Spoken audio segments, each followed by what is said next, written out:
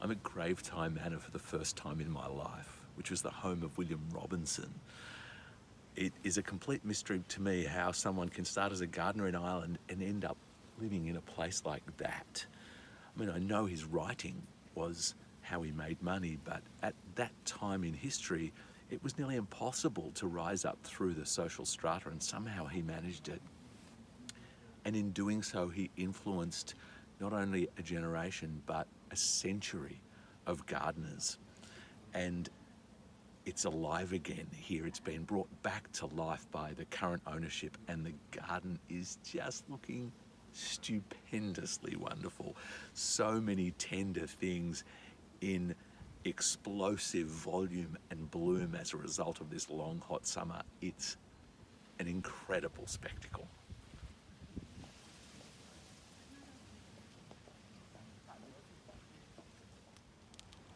The sunlight direction now is just picking up these amazing purples and oranges. This dahlia, I must find out what it is with the purple flowers and really dark purple foliage against the oranges of heleniums and marigolds. It's breathtaking.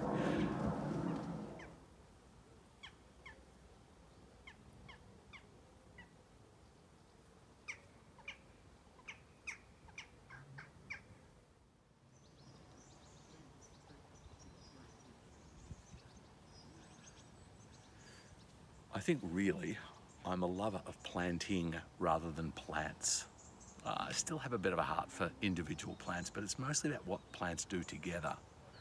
And then I step into a place like this, which is individual plants or crops grown to perfection. And it just makes my heart sing. It is so beautifully done.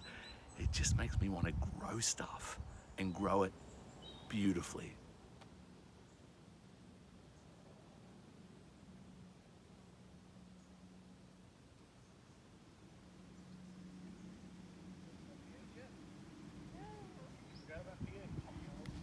See these little paths meandering along terraces here and it's easy just to go, well, big deal, they're pretty enough in an informal kind of way, but in fact, until William Robinson, that kind of gardening wasn't recognised at all as gardening.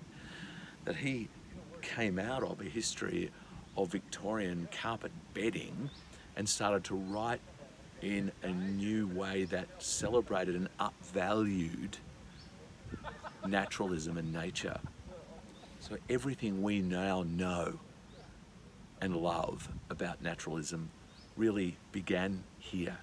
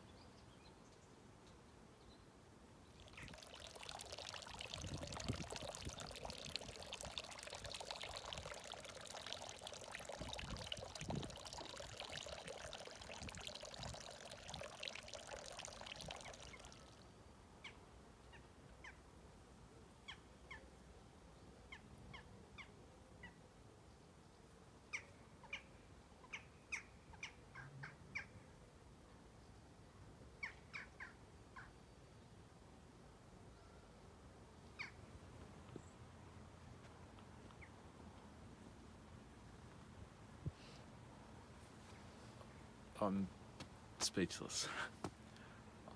It's got to be one of the most extraordinary horticultural feats I've ever seen in a real garden. It's um, mind blowingly good.